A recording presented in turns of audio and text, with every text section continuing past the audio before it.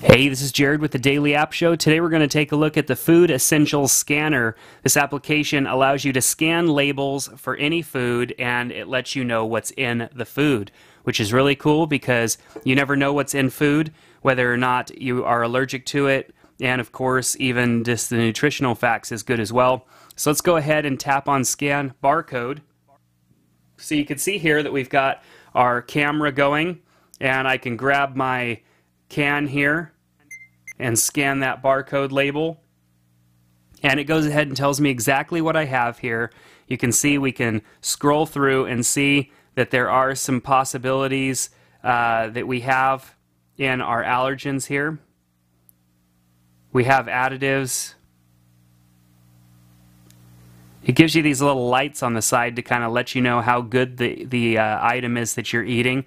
Because yes, the back of the label gives you some information, but what does that necessarily mean? Does it mean that it's bad for me? I have no idea. Could tap on my label and I can view and edit out some of these things that I want to see or I don't want to see. I could turn them on or off. If I want to know some dietary fiber information, perhaps maybe even the iron, and of course the protein, I could turn that on and then go back to the label and it's going to reload that and then show me that information. You can see it's went ahead and added the iron and the protein and all that good stuff as well. It also gives me other options. As you can see, there are different brands of, of the same items. It was almonds that I scanned, and so we've got different ones here. Lots of different options. I can go into my list and view items that I've scanned.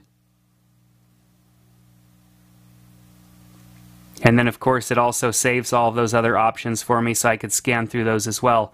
If I hit plus, it's went ahead and added it to my list. I can always go and edit and remove those items from my list as well. By search, I could tap and search in anything just in case I didn't have a barcode to scan. So let's go back to this item here.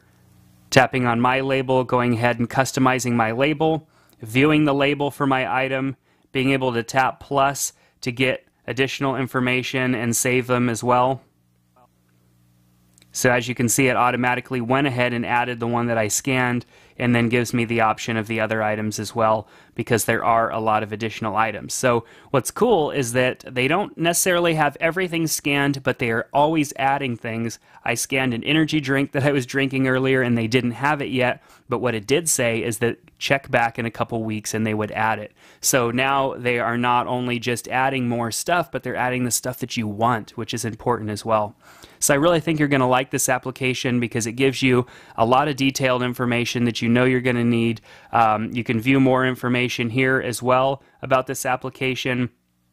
There's a lot of details here, as well as ways to contact them. If you have questions or comments, you can always email them directly. And also visit foodessentials.com for more information. So, very cool application, definitely worth having for whatever reason. Maybe you're trying to lose some weight or you're allergic to things, you need to know what's in your food. This application, you can customize and set it up so that you can scan the products and food items even before you buy them and decide whether or not they're a good purchase for you. So, really cool application. Go ahead and check out the Food Essentials scanner in the App Store today.